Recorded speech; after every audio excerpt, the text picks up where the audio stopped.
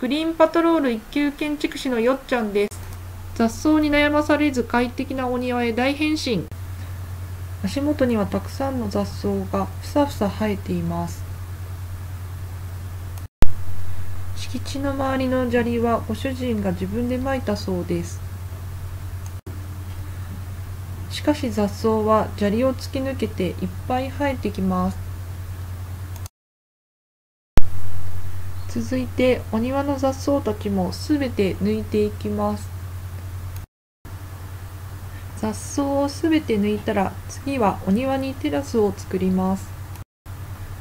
雑草の中に紛れてお庭に既存の化粧平板があったので再利用していきます。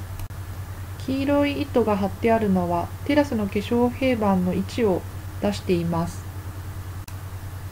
縁側の前に大きく明るいテラスが出来上がりました。グリーンパトロール社長の刈谷です。私が親切丁寧にアドバイスいたしますので、お気軽にご連絡ください。フリーダイヤル0120-041-301です。お電話お待ちしております。